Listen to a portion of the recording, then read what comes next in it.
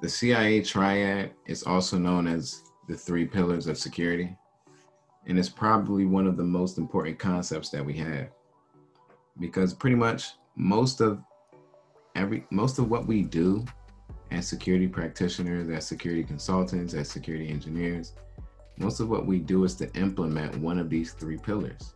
Is to enforce one of these three pillars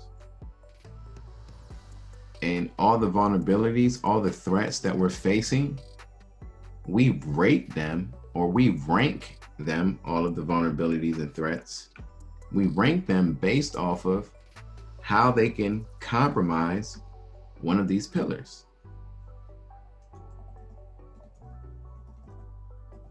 Okay, the CIA triad, this is the basis. It's the basis for creating an effective plan to protecting our organization's assets.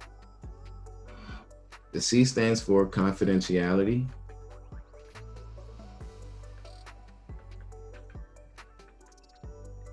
The I stands for integrity. And the A stands for availability.